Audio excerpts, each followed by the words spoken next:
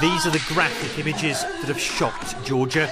Uniformed prison guards can be seen beating and kicking inmates and carrying out brutal sexual assaults. One prisoner is shown being raped with a broomstick while tied to the bars of his cell.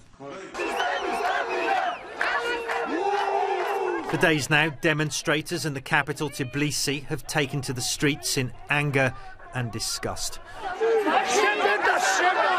Are fewer than two weeks to parliamentary elections here, and this scandal has become a major issue. It's not normal when in the democrat, democracy and in the country or European country there are prisoners that are raped and tortured in the prisons. So we want this system to come to an end. Government reaction has been immediate. Hundreds of prison guards have been suspended, and a cabinet minister responsible for prisons has resigned. The Georgian president, Mikhail Saakashvili, facing a strong opposition challenge next month, has appeared on state television too, vowing to bring those responsible to justice. What happened is a disastrous act against human rights and dignity.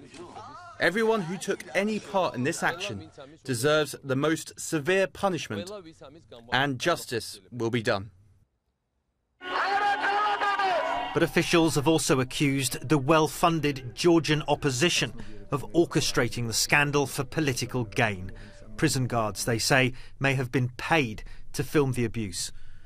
That's rejected, though, by the opposition itself, which says these appalling scenes show the current Georgian leadership in its true and violent light. Matthew Chance, CNN London.